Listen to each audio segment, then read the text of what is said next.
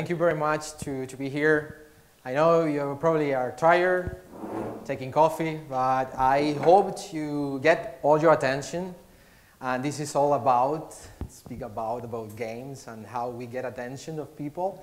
So um, uh, let's go. I'm going to start uh, speaking about uh, when I was 15 years old. It was 1999. And this was my backpack unwrapped when I was in the school. Terrible, right? I, you, you remember that. Um, and it was crazy. And that moment, I was really engaged with games, PC games overall.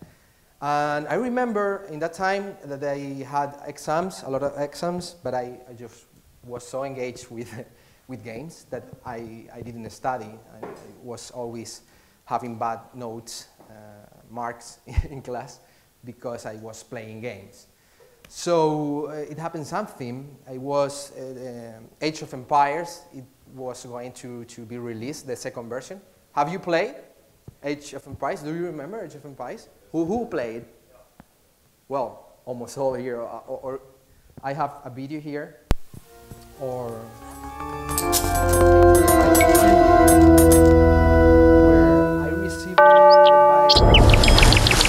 Oh, William Wallace and his raiders on your side, the English may be in trouble. You have a large army with plenty of siege weapons, destroy the English.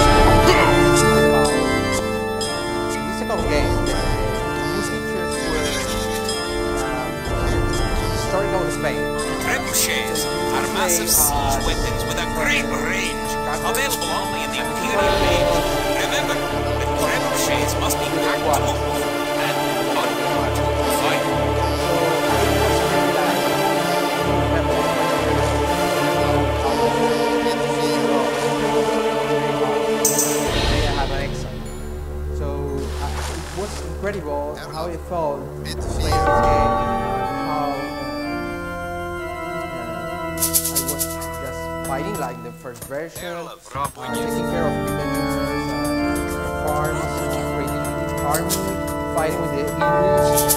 The game is playing things. The next- day, I have an exam. Uh, this is a real story. I'm not uh, making any.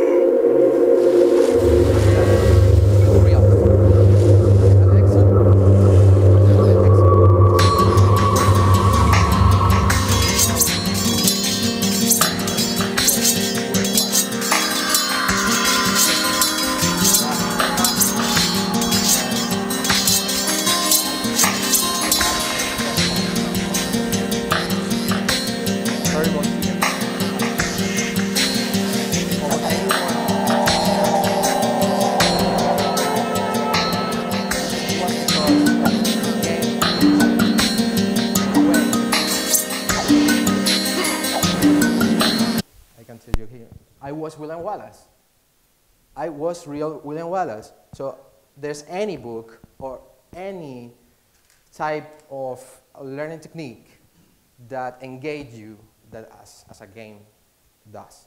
This is I'm going to talk about. This is a real story. Um, I'm going to speak about uh, um, a few things. One of them is um, philosophers and how, because we speak as researchers or people who make games, uh, commercial games, how, how approach games, uh, uh, trying to design games, but also how philosophers speak about playing and games. So Plutarch says, the mind is not the vessel to be filled, but a fire to be kindled. And that's right. So I have a company called Praminio. Uh, we make games for people who don't play games. We make games for moms. So it's really hard make games for people who don't play games. It's really hard. Um, actually, we, we have make several games. Uh, for example, with the first one, Feed My Alien, we were prized uh, in US. Um, even they want to, to buy the, the IP for STEM in US is uh, they, they want to, to teach girls with technology, so, so they, they want to, to buy the, the IP. Finally, I didn't uh, sell it. But, well, actually working on, on the one of the games of Garfield. Um, and as you can see, we make puzzle games. We are specialized on casual games, on uh, an audience that is women uh, from 35 to 60 years old, more or less. So um, this is the kind of games we, we made. And this is the price we already earned. There are several ones, but the, the ones that I want to speak is GDC or, or PAX East, where we were priced also there's as, as one of the best in the, in the games with Feed My Alien. Um, and also I have uh, several clients, local clients like Disney, Warner Bros., Marvel, Mattel. Um, we made, for example, for Crayola, we made um, an, an app, an ER app for kids where they can draw directly to the book and if they draw a pink uh, Iron Man, they can see on, on, the phone directly this character, right? These kind of things. So let me speak about, uh, that was my background, and I want to talk about something that several speakers were talking about uh, um, um, before, but let me speak more deeply about it. This is how we learn uh, 1000 uh, after that. It, this is an actual illustration of University of Bologna. This is, a, as you can see, we already solved this kind of problems like uh, head pain, of people boring, or I'm being ironic, by the way, or people distracted on class. This is changed on 1,000 years. Uh, the picture is really different. And this is something that we are talking about. Um, but let me, let me tell you something. Even in, in Hogwarts, have the same kind of, of, of teaching. So what's wrong? Why, why this? Why this? Let me go back. Let me go to the time of, of the philosophers, of teaching on ancient teaching. Uh, this is a draw from, from and I don't remember when, when, when it was, but it, it shows more or less how was teaching on, on ancient times. This is a picture of, of Plato. Uh, there's Archimedes there, or, or there's many, many of, of, of, these people. But at that time, there's some uh, philosophers speaking about playing and games. And what, what they say? Plato said, not by force all the children learn, but through play. What happened? What changed the, over the time? Let me also speak about why, why games are tools support for learning. I, I want to, to, talk about this, but also I want to support being on, on, on philosophers. This is a, a, a, quote for one of my um, favorite philosophers. It's Alan Watts. Do you know Alan Watts? Alan Watts, it was um, English philosopher who uh, tried to teach um, Zen Buddhism in uh, Occidental cultures. One of the most famous uh, guys out there. And he was speaking about a lot of things in life, but one of them, it was uh, play. And he was uh, speaking about not learn, but work, playing. And I want to show you a video. He is speaking, he's already dead because he's, uh, he, he was teaching his philosophy on the first, uh, first half of 20th century, I think. So here's the video of, about his speech.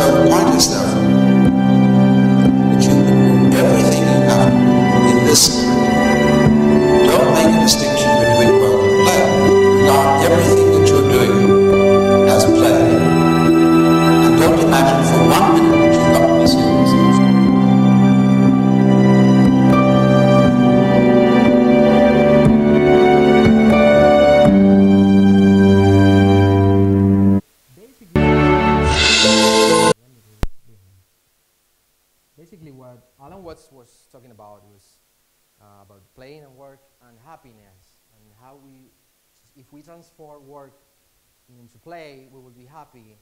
And I want to translate this message here uh, for, for learning. We, and I, I saw many uh, speech here talk the same. Let's transform things into play, and that's what uh, gamification is about, for example, right? Let me.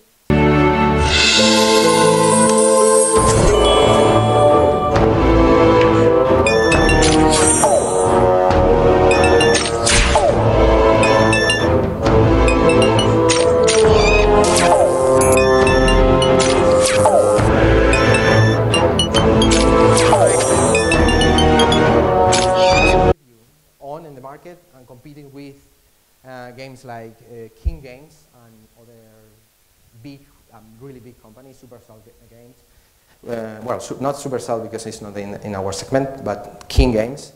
Uh, it's doing. Um, and I can show you real, let me, because if I have- time, yeah, I have time.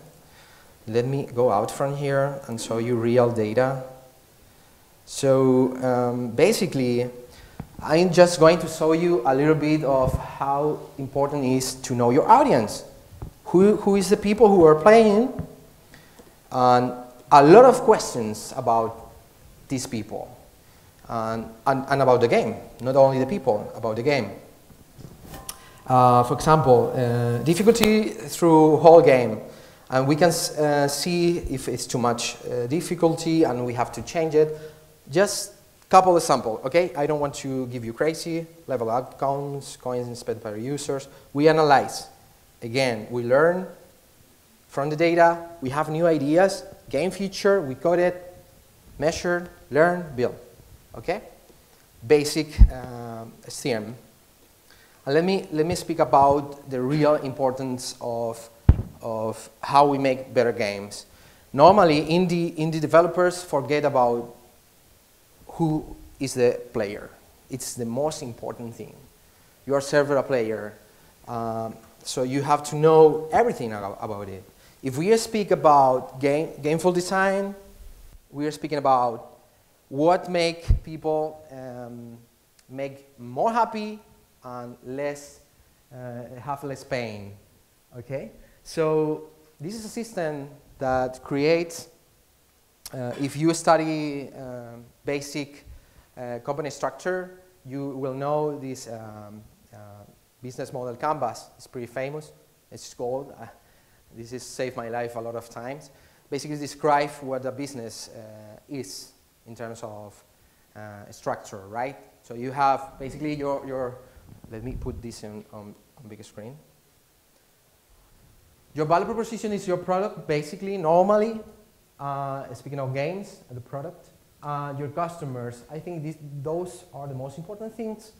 How you relate with your client, and how you, you go to them. Thanks to the App Store, we, we don't take care anymore about physical distribution or with digital distribution channels.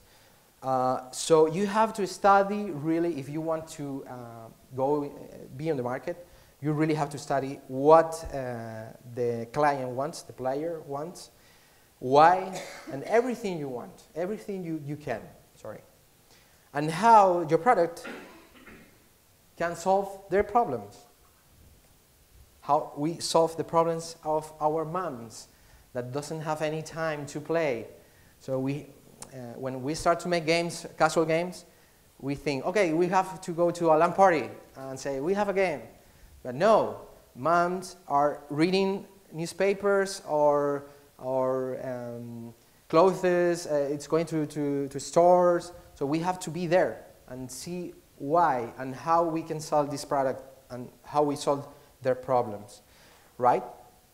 So basically, this is the, the structure of, of um, how we make better games, because it's not only about production. I can show you, for example, let me go out. Uh, our last game, uh, let me run Unity in real time. Uh, this is this game is uh, let me go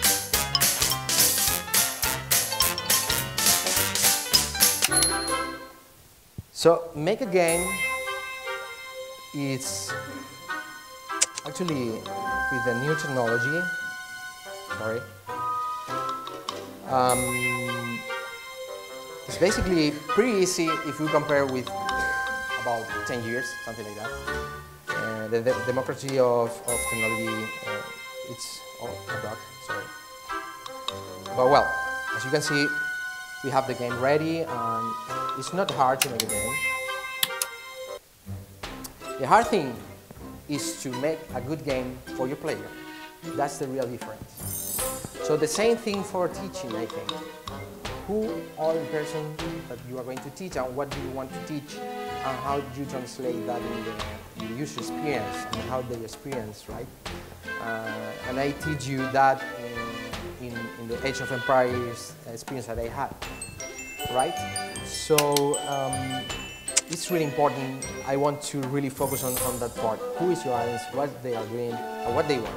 I can uh, show you, for example, things this is our game My Nightfall that is working. And this is uh, Facebook fan page.